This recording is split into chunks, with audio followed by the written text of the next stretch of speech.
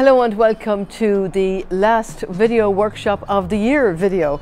I'm Aileen O'Meara and I teach you how to make super quality videos on your smartphone at our one day workshop here in Blackrock in Dublin.